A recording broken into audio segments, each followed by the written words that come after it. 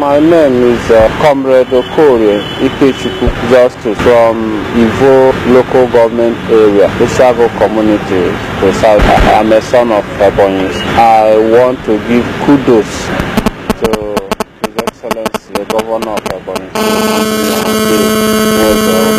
and his beautiful wife, Mommy Rachel Omahe.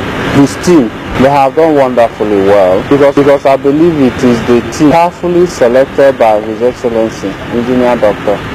Dave Omahe, that has been able to practically bring forth the dream of Engineer Dave bear. Uh, as an engineer and a technocrat, a business mogul, he has been able to prove. But for one, I've always said that people who have made it in the business world, people who have proven their mettle, are the ones that should be given the position of authority in government because they'll be able to manage it better. If our governor is able to do everything that he has done within this period of scarcity, scarcity of funds. In my imagination, I get wild at what he would have been able to do if uh, this season were to be the season before now. Not to say that the people who were there before him didn't do anything.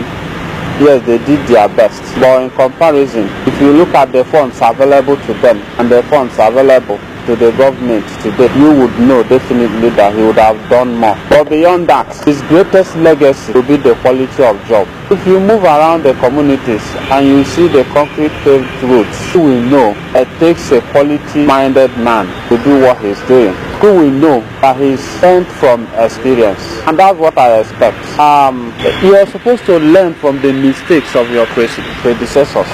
Because you must not make your own mistakes for you to learn from your own mistakes. A wise man will learn from the mistakes of others. That's what I think Engineer Dave Omahe has done.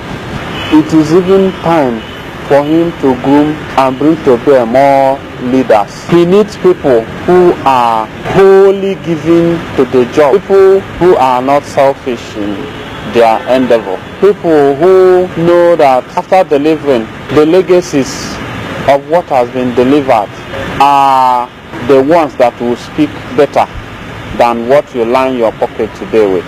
And so I know that he has the capacity to assemble leaders. He's a man of God. He will be guided by God to assemble not just with men with capacity, but also men with the fear of God. Because a man that has capacity alone is not as good as a man that has both capacity and the fear of God in him. And the fear of God is the beginning of wisdom. And when you have the wisdom, the wisdom of God in you, you will, will definitely do exploit. And so the electionary times are here. The campaigns are beginning in full force. So many men of dubious minds and all will come and want to turn themselves to saints. They will carry money and come and they want to share money. They want to buy Maggie and give the Bonyans. But it's important for we Ebonyans to know the value of our votes.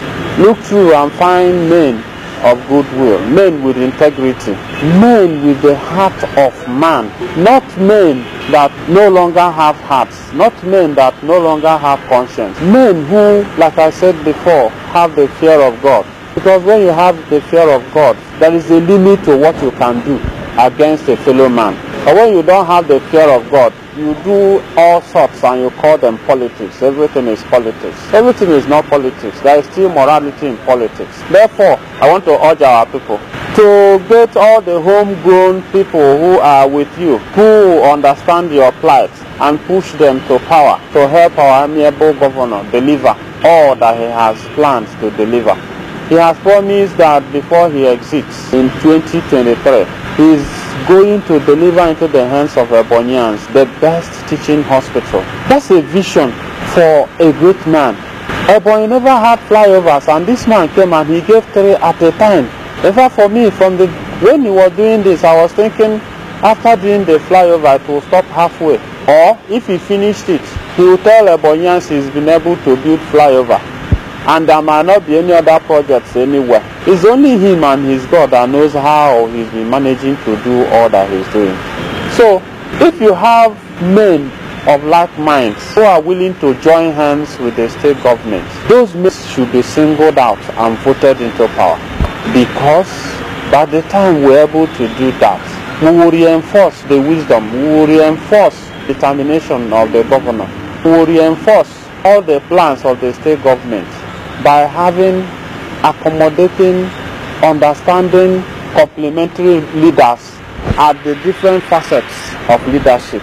And that way, it will be very definite that the next four years will be like El Dorado in Ebonyi State. Painfully, I lost my mother, not just my mother, my mother and my brother in succession within four months. And the cause of this has political undertones. I want to sincerely and for the depth of my heart beg Ebonyans to shun politics of violence. It's not the way to go. At the end of the day, we're Ebonyans. I want to plead with my brothers from Ebonyi South. I want to beg my people from Ohanivo to do the politics of love. After all, if your real intention is to develop the people, why will you go killing the, the same people? If your actual intention is to make life better for your people, what on earth will make you have them killed? I Except there are other things that politicians want, and that is not politics. Real politics is about development. I want to, I want to uh, ask Ebonyans that it is time for us to demonstrate that we can actually go to the polls and slug it out, free and fair, and elect our leaders without shedding blood. That's the best way to go because we may never know that young man that we have killed. What if something had happened in the course of politicking? What if something had happened to the present governor?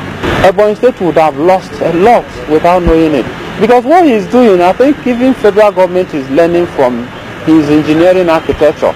And so who knows all these people that they are wasting every day, what they would have brought to the table for the benefit of Nigerians, Ebonians, and the world at large. I want us to know that the blood of every man is sacrosanct because no man can give life. No man has the right to take any man's life. Let's go into this as one family and do our best to convince people for their votes. And when we have done this, whatever is decided should be accepted by all as the decision of the people. Thank you.